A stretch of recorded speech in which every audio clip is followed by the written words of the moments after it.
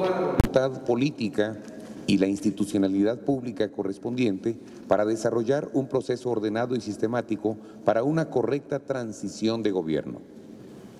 que desde hace varias semanas se han sostenido diferentes encuentros para consensuar la ruta definitiva que regirá este proceso de transición que oficialmente inicia esta mañana con la presencia de los equipos técnicos designados.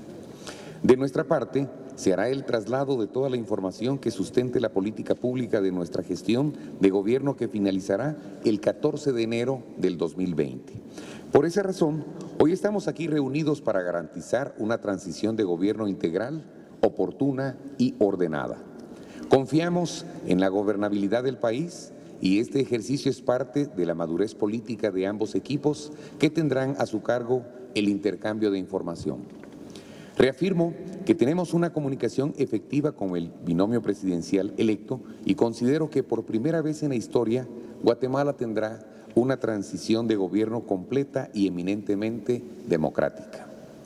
Mi felicitación una vez más al doctor Alejandro Yamatei, el licenciado Guillermo Castillo, por el logro obtenido mediante la voluntad popular.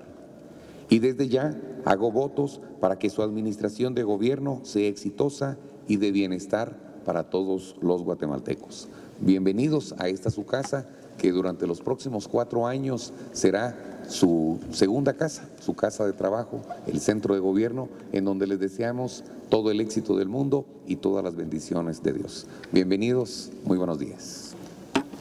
Nos complace sobremanera ser parte de la historia del país,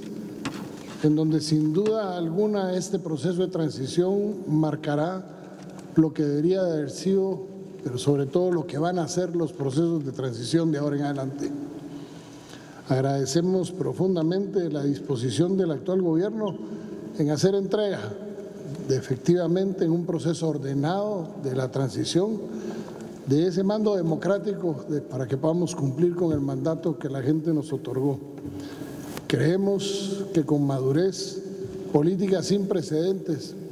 y con la participación de las instituciones encargadas de velar por la Contraloría de las cuentas de la Nación,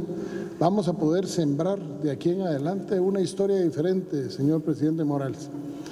Agradezco en nombre del equipo que encabezo la disposición de ustedes de colaboración y desde ya les aseguro nuestro compromiso en que este proceso de transición sea ejercido no solo con esa madurez que debe caracterizar a los políticos guatemaltecos, que buena falta nos ha hecho, sino que además nos permita asegurar que esa transición devenga en un traslado del mando que efectivamente haga que las cosas sean diferentes en nuestro país. Desde ya, en nombre del gobierno entrante, el agradecimiento a ustedes por el trabajo realizado, pero sobre todo por el compromiso que han adquirido públicamente en hacer de este proceso de transición algo sin precedentes en la historia guatemalteca y eso se le debe y lo debo reconocer a su voluntad, señor presidente Ibe Morales. Que Dios le bendiga por eso y que Dios nos bendiga en este proceso de transición y que podamos llegar al 14 de enero con la frente en alto, habiéndole demostrado a los guatemaltecos que entre los políticos, cuando queremos servir al país, puede haber paz, puede haber sobre todo un proceso de transición muy